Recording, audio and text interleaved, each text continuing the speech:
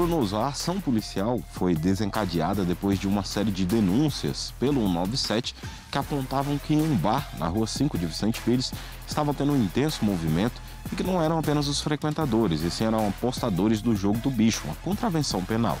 Os policiais civis foram até o local e, quando chegaram, flagraram a mulher de 53 anos atendendo um dos apostadores.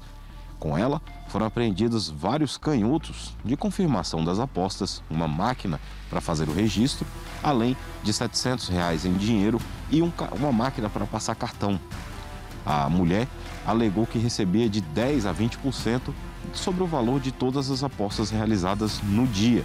Ela estava no local há pelo menos oito meses. Ela foi detida, assim como todo o material apreendido, e tudo foi levado para a 38ª Delegacia em Vicente Pires.